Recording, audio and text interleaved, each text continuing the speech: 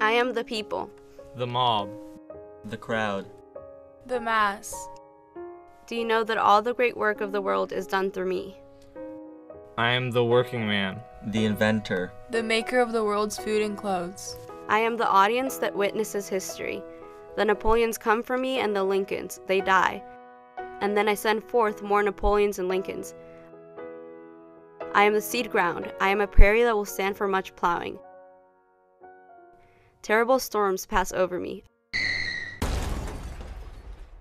I forget. The best of me is sucked out and wasted.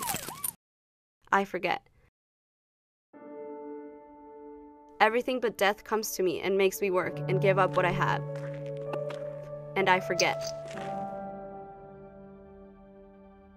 When I, the people, learn to remember. When I, the people, use the lessons of yesterday and no longer forget who robbed me last year, who played me for a fool, then there will be no speaker in all the world to say the name of the people with any fleck of a sneer in his voice or any far off smile of derision.